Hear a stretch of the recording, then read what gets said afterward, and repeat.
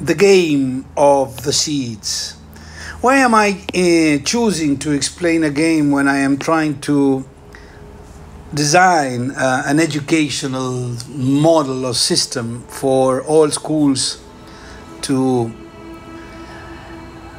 not to stuff information but to contribute to building personalities in the students. Why am I introducing a game? Because a game is always easy to explain and the purpose of a game is to have fun. So we simplify the aim of the education into a game just to focus on the joy of learning. How does a game work? Here, the big difficulty, this is Albert Einstein's reflection, no? how to teach, how, how can we make our teaching so potent in the emotional life of men so that the influence of our education withstand, holds the pressure of the elemental psychic forces in the individual. I, I really appreciate that Einstein had this big question in mind that is related to education. If you are an international teacher, uh, you have heard a lot about assessment for learning. And you might have realized, like I do realize now, that what we are doing is we're learning for assessment. We are transforming the means into the aim. Assessment is a means for education, but not the aim of education. So, how can we revert that? How can we use, uh, how can we gain evidence of the students' learning in order to assess? This game aims to find evidence on the approaches to learning in order to assess the student just by playing a game. So, what are the ideas and what are the background? There is a lot of research behind this game. I'm not going to go into the details, but of course, mindfulness in education is essential, it's at the core of this game. Concept based teaching and learning, when we are designing the content and the conceptual matrices for each level in the game, this is important to consider. Of course, the student in the center of education and his questions are the ones that matter. So, students should have the freedom to choose what to do, what, what activities, what challenges to, to take. And we assess from their own freedom to choose. And of course, we're not leaving behind this aim of, of uh, getting through the IGCSE and IB international evaluations, and especially in mathematics, the national Olympiads, problem solving. And finally, the idea or the concept in education that is now known as gamification. We finally realized that kids like to play, they like to game, and they get addicted to games. So, how can we use that tendency of the students uh, in gaming to make them play and learn science, maths, and other things? So, what is the model of the game? How do, what are the rules of the game? How do we play the game? Basically, you need to remind yourself that the, uh, the purpose is to have fun. Learning is a consequence of that, but we want to have fun. We want the students to enjoy this. There are six different levels. These levels are not necessarily related to any age or year group. They're levels, they always start from the first level, regardless of their age. They start from scratch, from here, and they move forward through this spiral. In, in, in this process of spiraling through different concepts, and different challenges, they are learning and uh, moving up in different levels uh, through the game. There are four different colors of seeds or four different types of challenges white, red, blue, and green. Uh, and I will explain what they mean, right? But that is basically the student is choosing challenges of different colors at different levels. And by taking these challenges, they accumulate seeds. What are the seeds? What kinds of seeds do we have? Like we said, there are four colors. The red seeds are for individual challenges, self management skills, academic challenges. Most of the time, we do this in class. We give them multiple choice questions, individual tests. Those challenges are for this kind of seeds. And then also communication skills, ability to communicate with the body, with the language, through drawings, through oral and written text, bilingual communication, collaboration skills, and finally, the big ones, the wellness challenges, the challenges that the student has to take in order to get white seats directly. So basically, this is the big picture of the game. Teacher, the Magister Ludi, is the one that runs the game. He is the referee. He is the one that decides um, how much seats each student gets for each challenge that he completes um, he runs the game, he's responsible for the game. And then there should be in the game other teachers, or this could be also students that have enough knowledge to transfer it to other students where where the different areas are related to the wellness challenges, the mathematical challenges, artistic nature, language and technology. These are the areas where the students learn. Of course, the students learn in the classrooms, but the game happens in another place. It's a physical place, could be a room, could be an open field, could be uh, a basketball court, anywhere else where the student where the students go. This could be offered as an activity, as a club, as an interhouse for a school at all ages. So it's core curriculum. It's not the curriculum of the school, it's core curriculum activities. Again, this is a bit of detail on what kind of challenges each color represents.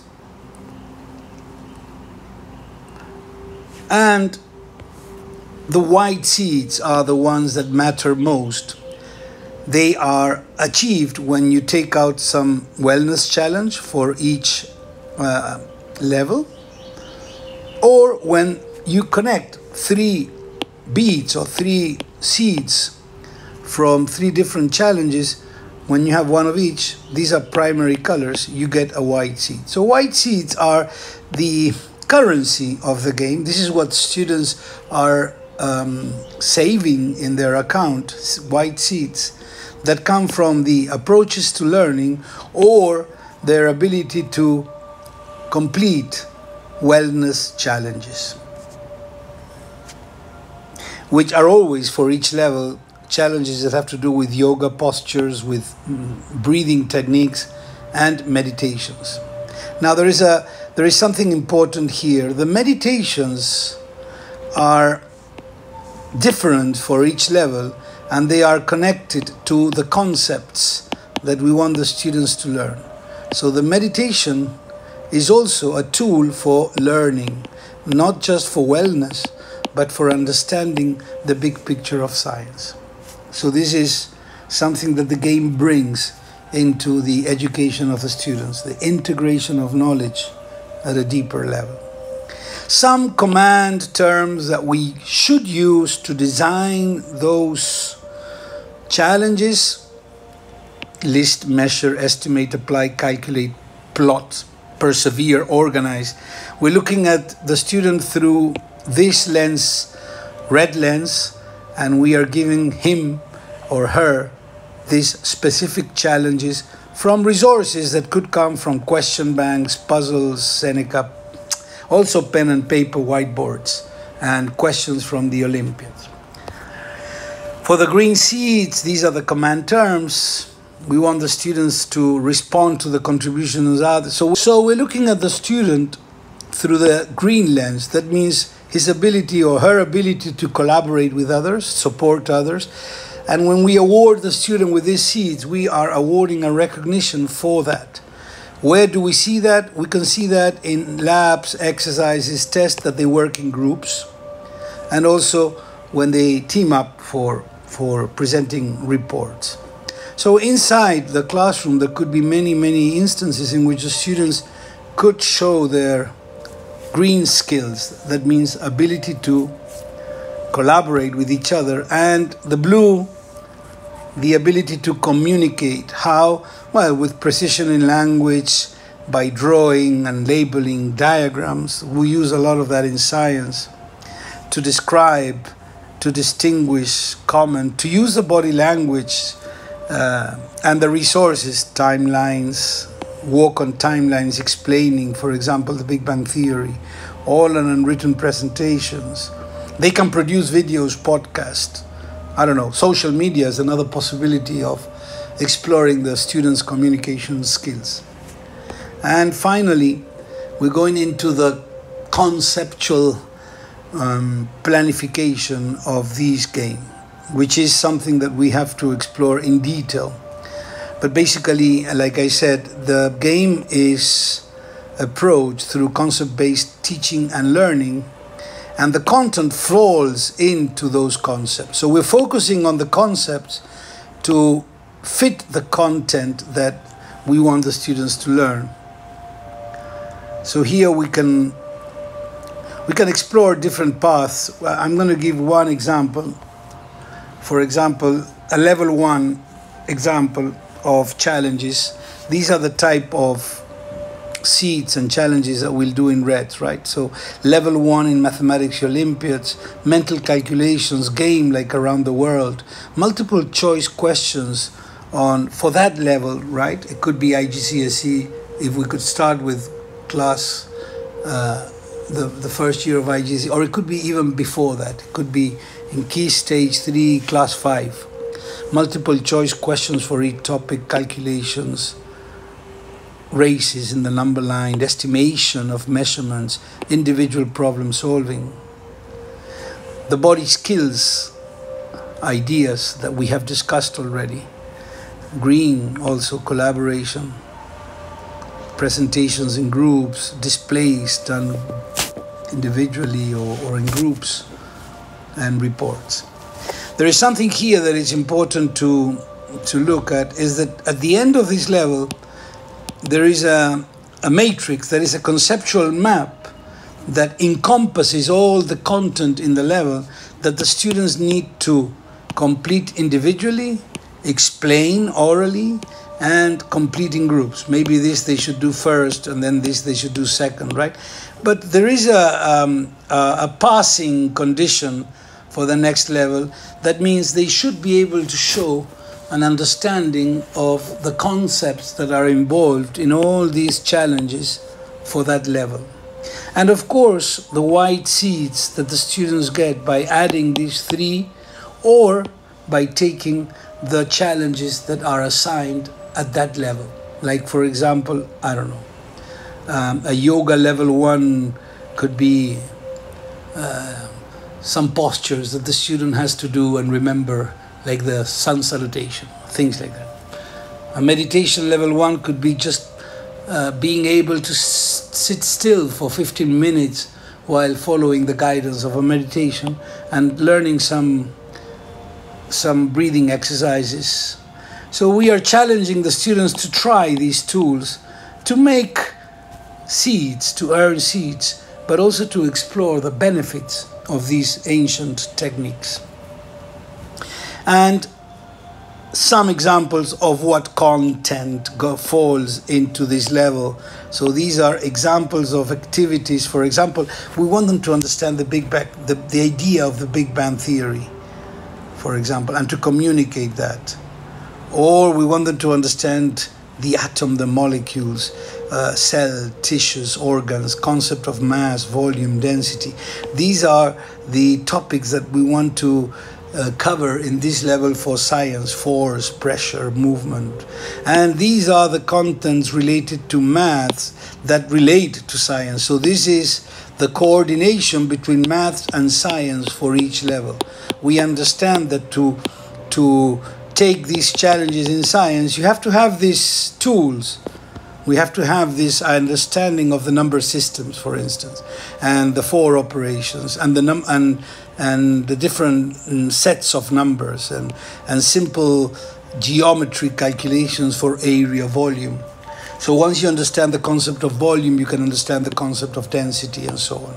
So this is the interconnection between science and maths, and this is the communication that means language. This is an example for one level. Of course, this is a draft, and we have, we are working on um, contents and concepts for each level. In this case, we are starting from class 5. So we are starting with what is known as key stage 3, and we're moving towards the IB. So it's a long term game that ends with a level of understanding of higher level of science, physics, and languages. So back to the big picture. This is a sower. This is a picture by Vincent van Gogh. The sower is the Magister Ludi spreading seeds, and seeds grow in different fields at different times. The, um, like I said at the beginning, the levels have nothing to do with ages. They have to do with the um, ability of the student to pass those challenges. Um, there is no failure for this, it's just trial and error. Like you learn by attempting these challenges several times until you get them right. That's the way the students learn in in a in a video game, right? So we're using those um, skills that the students are are using in in gaming. The purpose of the game is to achieve as many seats as they can so that they can go from one level to the next level. And when the student reaches the last level, the level six, and has enough seats, he will be the Magister Ludi. That means completing the game means that you become the sower. That would be the ideal situation. Students that become teachers in this game that could support the learning of other students. And the space, the fire, the earth, the air, and the water, the elements of nature written in Spanish, English, and Sanskrit are there because the matrices, that means the conceptual maps that we will be offering to each level, are connected with these elements. So far, so good.